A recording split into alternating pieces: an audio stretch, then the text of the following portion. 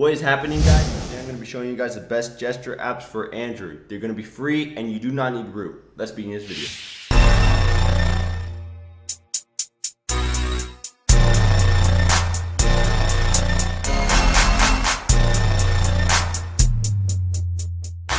So guys, first thing you want to do before you begin this video is you want to make sure you actually have a proximity sensor.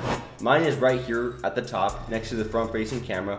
Um, these actually allow you to do all the applications I'm about to show you and uh, without it it's not going to really work. So make sure you have that. If you don't, well then you can't really do this video, can you?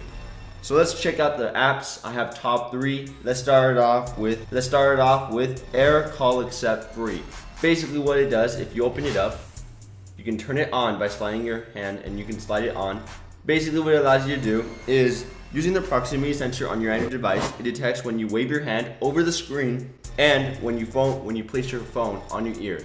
When someone's calling you, you can wave your hand over the proximity sensor and it actually answers the call for you, which is pretty nice. Here's an example. You can see in the car, I'm actually gonna wave my hand over it. This is great for all you guys who are driving and don't want to fiddle around with the button to answer the call. Check it out, and that is Air Accept Call, free in the Play Store. All right, guys, next app I have is called Wave Control, and this is free or $2.99 in the Play Store. What it does, it actually allows you to play your music and control it using your hand gestures.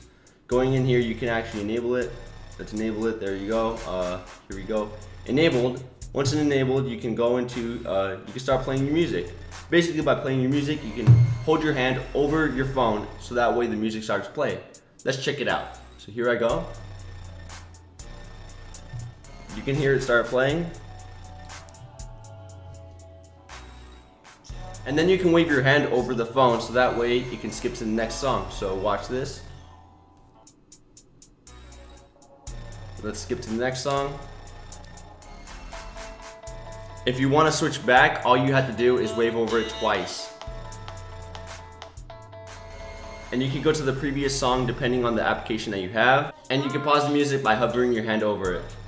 So it's pretty cool. Um, all of that is included with gestures, wave control, free in the Play Store. Alright guys, so the next app I have for you guys is going to be hovering controls. This is an app that includes all the hovering controls right when you need it. So here you go. It's basically by an XDA developer. So here we go. If you start it up, you can see it's enabled. So here we go. Let's try it out.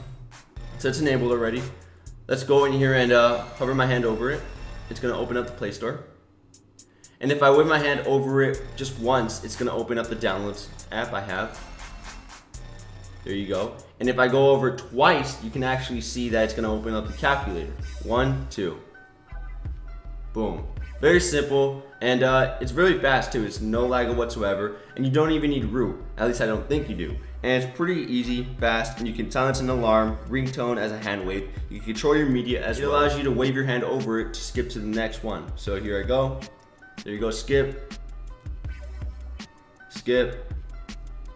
And uh, that's really all it does. Hovering controls, check it out in the Play Store. Alright guys, so that is the basic apps I have for you guys. They're basically gesture control apps slash hover control apps, the best in the Play Store. If you want to download all of them, links down in the description so you can download all of them. Make sure to hit that thumbs up button so that way you can like this video. And please make sure to subscribe down there or up here, wherever it is. And I'll see you guys in the next video.